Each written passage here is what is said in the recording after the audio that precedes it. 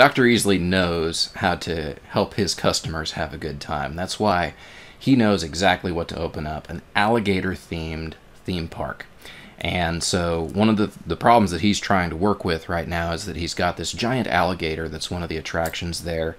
And uh, he needs to know how much force is going to be carried in a hydraulic ram that actually actuates these giant mechanical jaws so that the people at his park can uh, really be impressed by the action of those jaws. And uh, so, that's what we're going to help him with is to find the force in that, uh, in that ram. So, uh, what we need to do is actually, first of all, start looking at this system. I know there's a lot going on here and it can be a little bit intimidating. Um, but one of the things that we are going to need to do is draw a free body diagram of a couple of different parts. One is the upper jaw and one is the lower jaw. And one thing that actually helps out a lot in these, you don't always have to draw your free body diagrams with all the level of detail and complexity that looks like the picture is it's okay as long as you get all of the points of interest in the correct location relative to the other ones, it's okay for you to simplify it a little bit. And so that's what I'm going to do here with this problem is I'm going to actually show, uh, for instance, the little segment between A and B, I'll show that as part of the jaw. And then there's another segment that goes from A up to E, something like this. Okay. And this is going to be my representation of the upper jaw. This is actually, well, I'm not quite done there because the other thing that I need is this length that sticks down uh, R1. So this is this much that I show right here is the, my representation of the upper jaw. And we understand that it's kind of this rigid body uh, that all holds together and it gives me all of the points of interest for that body. Okay. Um, so what I need to start doing now is putting on this body all of my different forces that might exist. There's a pin that exists at B that can that keeps this body from moving left or right or up or down. So I'm going to put on here RBX and up here RBY to indicate that that pin can't move. Uh, the next thing I'll do is show the weight Okay, weight acts straight down at the center of gravity, and that upper jaw, it says up here, weighs 670 pounds. Okay, so far so good. So the next thing to deal with is this hydraulic ram, and this probably should be discussed just a little bit. Um, with that ram in there like that, a ram is a member that is connected only at two points with frictionless pins. That meets the criteria for the type of member that we would call something like a link or a two-force member. And it means that the line of action that exists in that member exists along a line that extends from one pin to the other. Okay? And if we look at that, uh, we can assume a couple things. We can sort of imagine the force acting in that body a couple of different ways. One is it could try to make the body longer, and one is it could try to make the body shorter, this being a little representation of the ram right here. Uh, if it tries to make the body longer like this, then we say that that uh, ram is in tension. If those forces were both reversed and went the other way, we would say that the ram was in compression. So this here, this is a tension assumption. Um, and this is what I'm going to use for this particular problem. So where the RAM interfaces with this body is at point A. Okay, this is B, this is point A. Up here, this is point E. Okay, where this RAM interfaces with this body is going to be equal and opposite to how I show it up here. So since I show it up and to the right, then right here, this is going to be down and to the left. Okay, and I'll go ahead and give the name there just FRAM. And I'm making a, an assumption uh, that this is in tension by showing that in that way. Okay. Uh, the next one that I'd like to do is where these gears interact with each other. We know the radius values of the gear, and so I can show that contact force in between those two gears as one of the forces on here. So I'm going to call that just F contact. Okay, so far so good. Uh, let me go ahead and stick some axes on here. Say that this is the x-axis and this is the y-axis. Okay. Uh, the next thing that I would like to do is actually put on some dimensions. Okay, so uh, one of the dimensions is over to point E, and what you'll notice there actually is that, you know, that's a dimension of B. It is given in feet rather than inches, whereas a lot of these other ones are given in inches. Um, I think it'll actually help me out to kind of convert a lot of these right up front into inches, the ones that are in feet. So I'm going to take 6.9. Uh, there's 12 inches in a foot, so I'm going to multiply that by 12, and that gives me 82.8 inches for that factor of B. Okay, and while I'm here, I may as well do that for all of these. 3.9 times 12 Okay, that gives me 46.8 inches.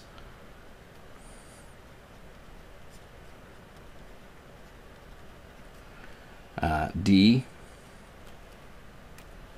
5.9 times 12, and that gives me 70.8 inches. And finally H, which is 6.4 6.4 times 12 gives me 76.8 inches. And that takes care of converting each of those values into a number that's in inches, which will make it easier for me to deal with in my free body diagram and on my equation. So first of all, we've got 82.8 inches over here. Okay and I don't actually need to know the height of point E in the y direction above point B because the line of action of uh, the 670 pound weight is vertical and so the 82.8 gives me my entire uh, moment arm for that particular force. Okay, the next one that I'd like to do is uh, the distance below this axis right here. This is the value of R1 given in the figure and R1 was already given in inches, which and it's right there at 42 inches. Okay, and then the other thing that's going to matter to me is the horizontal length from A to B, which is uh, basically this right here. I guess I'll show it right here. Okay, that is a dimension of A, and A is 21 inches. Okay, I'm almost done with this free body diagram, but the next thing, the, the last thing I need to do on it is to actually try to make some expression that gives me the direction of the force in the ram. Since I know that the line of action exists along a line between these pins, I have enough information to actually come up with um, you know how far that is or, or, excuse me the, the slope that that is and so uh, what we have there is a height between point C and point A of h, and h is 76.8. Okay. For that rise of 76.8, there's a run of, and you'll notice there it's a difference between the dimension C and the dimension A. So we have C being 46.8 inches, whereas A is 21 inches. So 46 0.8 minus 21 gives me 25.8. So I'm going to put that in down here as uh, 25.8. Okay, and there's my free body diagram. And uh, if you look at this, uh, we we have too many unknowns on this free body diagram to be able to solve it because this is a non-concurrent force system. We have up to three equations, and I have four things that I don't know. FRAM, RBY, RBX, and F contact. Uh, so let me go ahead and uh, recognize that I need to draw another free body diagram, this time of the lower jaw. Okay, so here I'm going to show this lower jaw in a similar way, kind of simplified. Something like this, where it has a little uh, length that comes up in that way. So where I had the F contact before on the old diagram, I'm going to have to draw it equal in magnitude, opposite in direction. So that's F contact. Okay. I also have at point D, okay, that's this is point D right here. I have a uh, reaction, couple of reaction forces. So um, it's not allowed to move up and down. It's not allowed to move left and right. So I'll call this uh, RDX. I'll call this RDY. Okay. Um, I do have another force, FRAM, that kind of sticks up like this. Okay.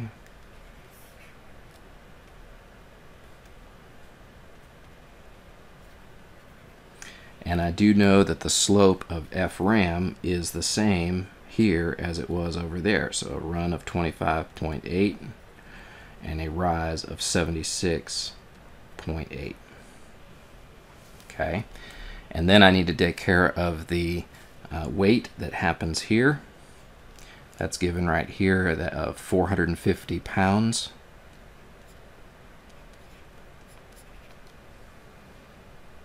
Okay. And let me go ahead and stick a, I think I kind of can let the earlier y-axis imply the y-axis there, but I'll say this is the x-axis. What else do I need to do? Uh, I probably need to have a couple of more dimensions on here. So I would want to have that this is uh, two and a half inches. Okay, that's, excuse me, not two and a half, 25 inches.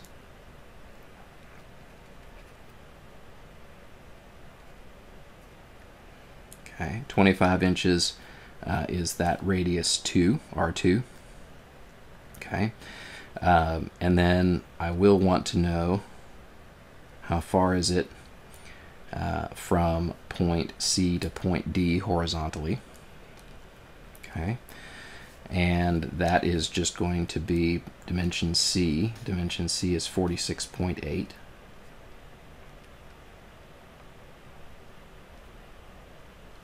Okay. And then, of course, I would like to draw on my diagram how far it is from the, for, the line of action of the 450 pound force to the uh, point that it's rotating about there at D. And that's going to be this dimension of D. D is 5.9 feet or 70.8 inches.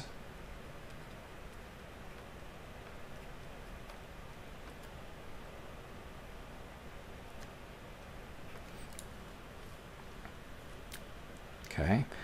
And I know this is getting kind of crowded in here, but I'm trying to keep it all on the screen so we can see all of it. These are my two free body diagrams that I need to be able to solve this problem. And what you can see that we can do is for the first free body diagram, we can sum moments around point B. When we do that, we eliminate RBY and RBX, and all we're left with is FRAM and F contact. Okay, so let's do that. Let's say um, I guess we'll start with FRAM. Okay. Um, the horizontal component of FRAM does not create a moment around B because its line of action passes right through B. That'd be, that would be this component of that force. Only the vertical component, which kind of goes down to there, that's the only um, component that creates a moment around point B.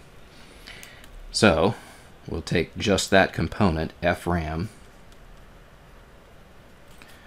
uh, times, I want the vertical component, I want uh, 76.8 over the square root 76.8 squared plus 25.8 squared. And that picks off just the vertical component. What I do with that is multiply it by 21 inches to get a moment. And then I need to think about the direction to make sure that's correct. It does look like it creates a counterclockwise tendency to rotate, so positive is correct there. Okay. Now I need to look at my contact force, F contact. Okay. and it is going to also create a counterclockwise tendency to rotate. So I will add F contact multiplied by its length from its line of action to point D, uh, and that would be 42 inches. Okay, so so far that's taken care of those two. The last one that I need to work on is the 670 pound force. So it would tend to create a counterclockwise tendency to rotate as well. So I would add 670 pounds multiplied by 82.8 inches. That takes care of all of my forces that would create moments around point B. Next here we have a sum of moments around point D for this second free body diagram. Okay. Um, again, the FRAM, that force, has components, one of which goes up like this, and one of which goes over like this. The horizontal component has a line of action that passes right through D, so it will not create moments about D. But the vertical component uh, does create moments about D, so we need to consider that. Okay, so I go in here, um, that FRAM, the vertical component, tends to try to rotate this thing clockwise, so I say minus FRAM. Okay, again, I just want the vertical component, so This is going to be the same as before, 76.8 over the square root of 76.8 squared plus 25.8 squared. Okay. Now I do need to multiply this uh, force by the length from that line of action to point D, which is 46.8 inches. Okay. Now I need to take care of my F contact force, which tends to rotate this counterclockwise. Counterclockwise is positive, how I'm summing these up. So I say plus F contact times the line of action uh, of F contact is 25 inches away from point D. So I put 25 inches there. That takes care of those two forces, and now I need to figure out the effect of the 450 pound force. It'll tend to be a clockwise influence around D. Okay, so that would be um, excuse me, not clockwise, counterclockwise, that would be a positive 450 pounds times 70.8 inches counterclockwise around D. What you see that we have here is a system of equations where we have two unknowns in each of them. Okay? And they are the same two unknowns. So this system of equations can be solved uh, readily using um, the solver in a calculator like this one. Okay?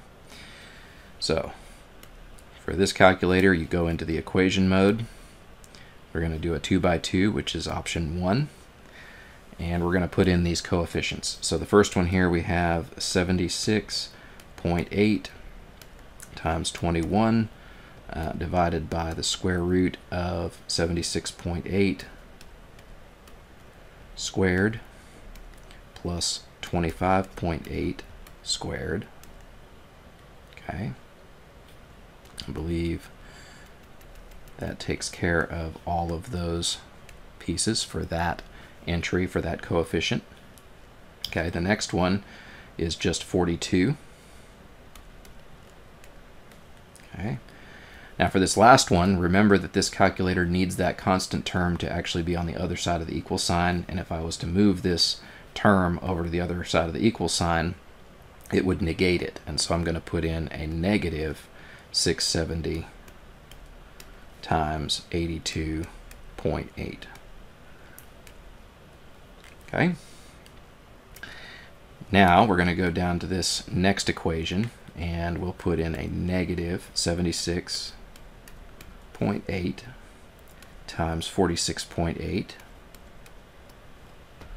divided by the square root of 76.8 squared plus 25.8 squared. And I think that takes care of that whole term. The next term is just going to have 25 inches. So 25. Okay. And then lastly, remember that just like the last time, this uh, constant term needs to be on the other side of the expression. So we negate it from what we have. Uh, 450 times 70.8. And when I've got all those entered, I can hit equals, and it gives me here that my first uh, value is negative 20.66. Okay, that would be FRAM. All right, so FRAM negative 20.66 pounds. What does the negative mean? Well, the negative means that up here where we had assumed uh, tension in that member, that assumption was actually incorrect, and it is time for us to, to interpret that. So the, negative sign means that was incorrect. It means that the ram carries a compressive force, and that compressive force is going to be 20.66 uh, pounds. Because we assumed tension, came up with a negative answer, and that tells us it must have been uh, in compression. Okay, and that actually solves the, the problem that was asked. If we're curious, we go ahead hit equals again, and that'll tell us our contact force. Okay. And that ends up being a negative uh, 1311.1, we'll say. And that's also in pounds. And what does that negative sign mean? Well, it means where we thought that the force acted to the right on the upper body and to the left on the lower body. That's reversed from what it really is. It really acts to the left on the upper body and to the right on the lower body. But just given the signs of the answer, um, it's clear enough what the conclusion is. So I hope this has been helpful, and uh, if it has, then I would appreciate it if you would subscribe to my channel, and uh, I'll see you on the next video.